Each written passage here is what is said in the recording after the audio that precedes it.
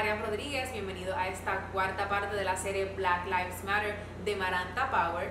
Es importante que como comunidad puertorriqueña seamos empáticos y estudiemos bien la información que compartimos en nuestras redes sociales.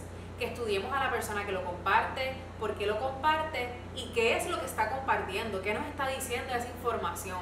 Que tomemos un minuto para reflexionar acerca de nuestros privilegios como persona, fijándonos siempre en nuestro color de piel haciendo referencia un poquito al término white privilege, que pues lamentablemente nos hace ver cómo muchas, en muchas ocasiones, al ser personas evidentemente negras, tenemos probabilidades de tener éxito en diferentes áreas profesionales, como lo son los medios de comunicación, como lo es la política, como lo es también las redes sociales en muchas ocasiones.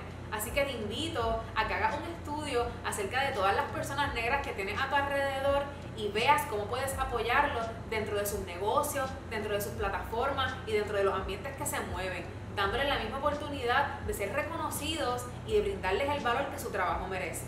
Muchas gracias a Maranta Power por esta oportunidad. Estoy muy agradecida de que me den esta plataforma para poder hablar, visibilizar a la comunidad negra puertorriqueña y poder hablar acerca de esto que me apasiona tanto. Así que muchas gracias y espero que estén disfrutando estos videos.